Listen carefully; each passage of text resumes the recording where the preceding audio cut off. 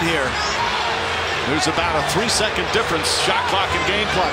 And the Sixers do have a foul to give. But I like the no call down there. I thought that was outstanding defense. Westbrook to Anthony. Anthony, three to shoot, inside Roberson. Westbrook back to Roberson, reverse. He missed it! He missed it! And Saric the rebound. Triple overtime unless they call timeout in time. Eddie Malloy's going to check. The Sixers tried to call time. They did have two remaining.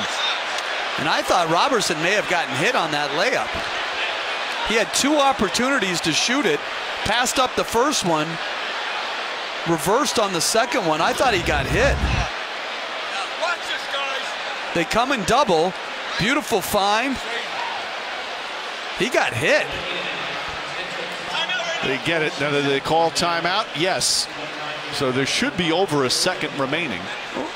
But the the, the big story is, did Roberson get hit? I mean, oh, he, he got, got, clubbed. Mike, you cannot. See, this is my problem with all this replay stuff. If you can't go back and correct that, what is the point of replay? It's to get the calls right. If you can't get the calls right, why are some calls deemed more important? Is there anything more important than a guy getting absolutely whacked No, you're absolutely in the right. shooting motion? Roberson had a clean look at it, and Embiid clearly raked him over the arm.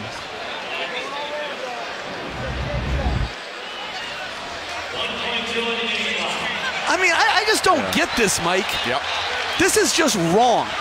This is why I can't get on the replay train. I'm not on the replay center train. I'm not on any of it because these are the calls that have to be right.